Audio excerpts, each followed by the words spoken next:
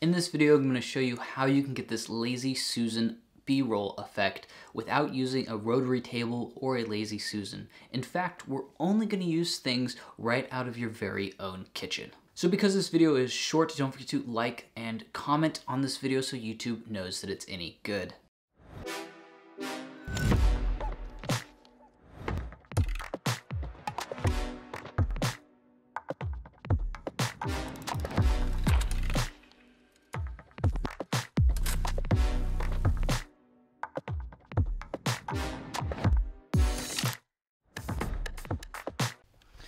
Okay, so we're gonna use a super simple trick to make a Lazy Susan out of two plates and a book. And it's gonna end up having a very high quality looking cinematic effect. And you know, it takes like five seconds to throw together. And I'm sure that clanking was really loud. So let me show you how I do it.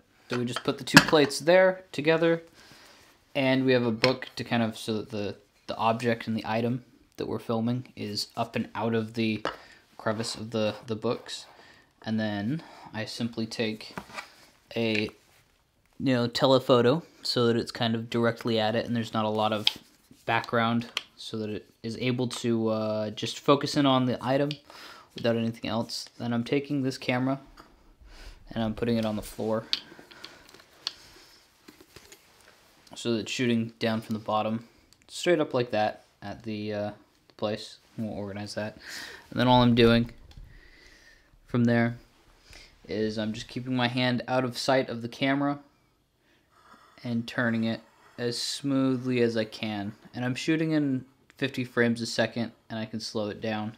So this might take a little bit of time to perfect the look because it's not a it's not the smoothest. I guess if you took like mayonnaise and put it underneath the thing, it would be a little bit smoother. Super nasty, but a little bit smoother. And that's all you have to do to get the super easy shot that you want. Thank you so much for watching. I hope you enjoyed this video. Don't forget to like, subscribe, and comment down below so that YouTube understands that this video, despite being short, is any good. Once again, thank you so much for watching, and take care.